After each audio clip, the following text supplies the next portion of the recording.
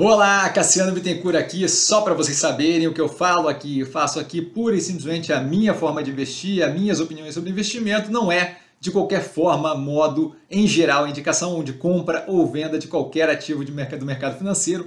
E agora o vídeo, valeu!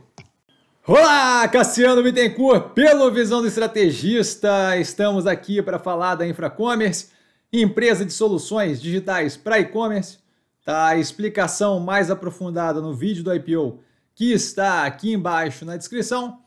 Na tela a gente coloca a abertura das principais áreas de atuação da empresa com explicaçãozinha, enquanto vocês leem, sim, sim, eu sei. Eu falei ontem na live que não pretendia fazer a análise da operação, não é uma operação que me chamou a atenção desde o começo, por motivos diferentes, tá? Explicado lá na análise do IPO. Porém, entretanto, todavia, eu tenho visto aí um burburinho muito forte no ativo, de modo que me fez preferir avaliar a operação, colocar a minha visão, evitando que vocês tenham que tomar decisão desamparados aí do meu ponto de vista no que tange a operação, tá? Então a gente fez, fiz uma análise, foi uma análise bem tranquila, é bem direta aqui, então não, não, não, não vejo como problema, acho que era necessário dado o bafafá que tem sobre a operação nesse momento.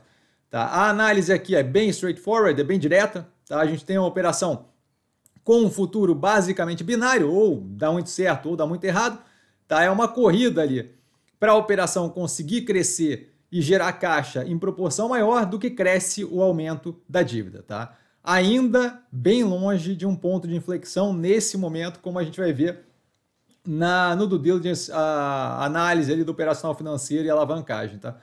Com um preço bem deprimido, o que acaba causando aquele pensamento de, bom, talvez esteja um desconto, talvez valha a pena o custo-benefício, tá?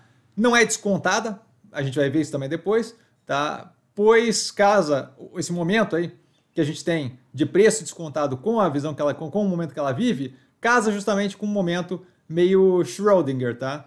Que ela vive no momento, que é o que? A operação tá viva, a operação tá morta, e a operação tá morta e viva ao mesmo tempo, só vai dar para saber efetivamente qual desses é a hora que a gente abrir a caixinha, certo? O Schrödinger Cat, o, o, gato do Schrödinger é, um, é uma questão de física quântica, um estudo de física quântica, uma teorização de física quântica. Tá? Basicamente, a operação está num momento em que a gente não consegue dizer se ela sobrevive ou não sobrevive, então nesse momento ela está num estado meio que dúbio. Tá? A gente começa com. Eu não deveria ter feito essa analogia porque eu acho que compliquei mais do que eu simplifiquei aqui.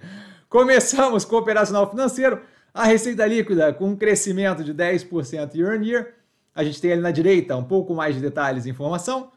O EBITDA com um crescimento de 57% year on year versus o mesmo período no passado, tá? um crescimento bem robusto, que chama a atenção, a operação está indo na direção aparentemente correta.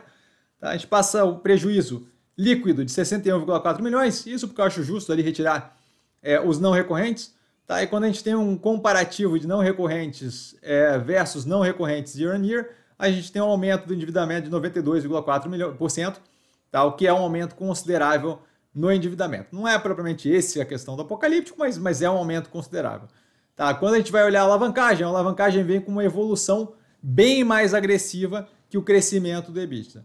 Tá? Demonstrando que nesse momento a operação está perdendo a corrida, certo? Está num espiral de, de descasamento de geração de caixa versus crescimento da dívida.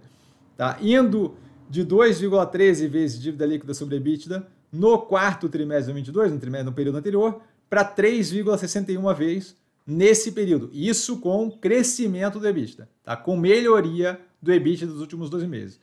Tá? E com o aumento da dívida de 185,6% versus o mesmo período no passado, e nesse mesmo período a gente tem um aumento bem mais módico do EBITDA de 57%. Ou seja, eu estou crescendo o meu endividamento consideravelmente bem mais agressivamente do que eu estou conseguindo crescer a qualidade, evoluir a qualidade da operação. Tá? Então, não só está descasado minha geração de caixa versus meu endividamento está descasado e está aumentando essa distância.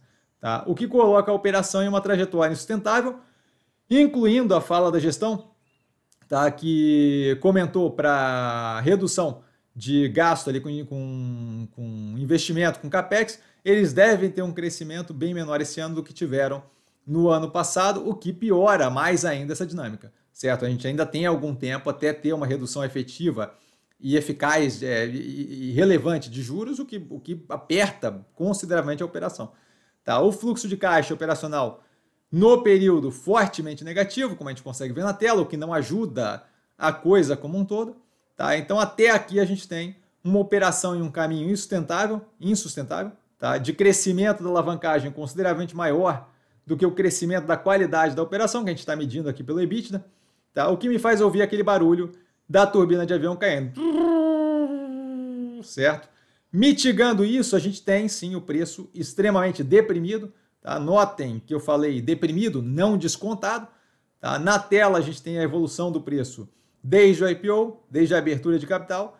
Tá? O que chama a atenção para uma operação com maior risco, mais possivelmente maior ganho, certo?